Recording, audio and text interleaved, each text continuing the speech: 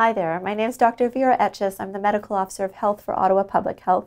And today I'm going to be sharing some information about the novel coronavirus, or COVID 19. COVID 19 continues to spread in communities around the world, and the situation is changing every day. Eventually, we might get into a situation where the virus becomes a pandemic. And the P word can feel scary to some, but it basically just means that there's a virus that's spread to multiple continents or around the world, and people do not have a developed immunity to the virus. So a good way to think about a pandemic is that it describes the geography of the spread, but not the severity of the virus. Three other P words to focus on in the face of a potential pandemic are preparedness, prevention, and politeness. So let's start with preparedness. In general, emergency preparedness is a good thing to practice. Whether we're talking about a severe winter storm or coronavirus, it's always good to be prepared. And by being prepared ahead of time, we can minimize the impact experienced by hospitals, pharmacies, clinics, should we get any local cases. In respect to the coronavirus, think about the things you may need if you were to get sick. So stock up on non-perishable foods gradually over the next few weeks. Be prepared for two weeks should you become ill.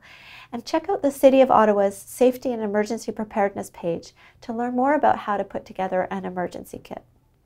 Fill prescriptions and stock up on over-the-counter medications. I know this might not be possible in all cases, but some things you can do include don't waiting to fill essential prescriptions, fill prescriptions for an extra month if you can, get refills, refills with enough notice in case you uh, run out of medicine, purchase over-the-counter medications for pain or cough, plan to make sure that your children and dependents have support if you are sick, and stock up on supplies for your pets, stock up on cleaning supplies, and ensure you have adequate sanitary or hygiene supplies. Part of being prepared is also to prepare your body to fight a possible infection. So stay healthy by eating well, drinking lots of fluids, staying active if you're well. Try to get enough rest and sleep.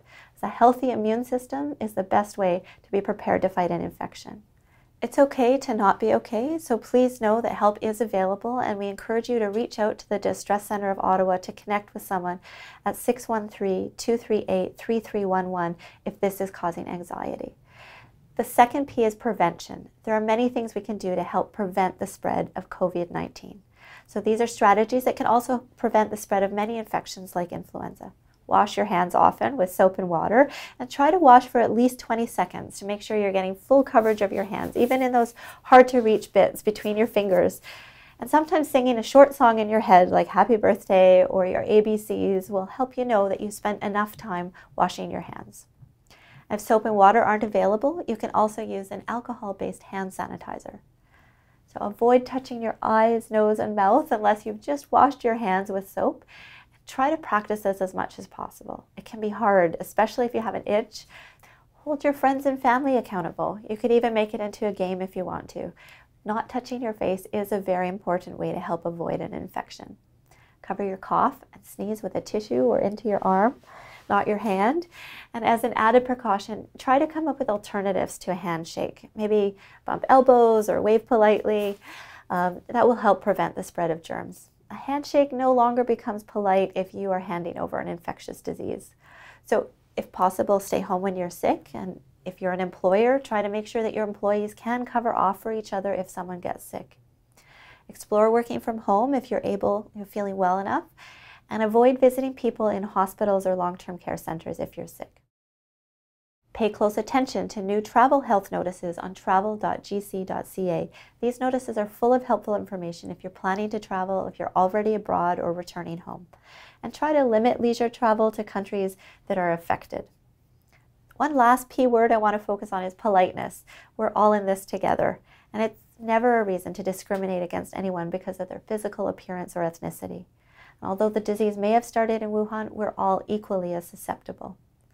Also, one thing that's certainly not polite is spreading misinformation. So make sure that the information you're reading and sharing comes from credible sources, such as Ottawa Public Health, the Ministry of Health, or the Public Health Agency of Canada. For more information about COVID-19, including frequently asked questions, visit our website at www.ottawapublichealth.ca slash coronavirus. From all of us at Ottawa Public Health, remember, prevent the spread of germs, prepare yourself and your family for a potential pandemic, and be polite. Please and thank you.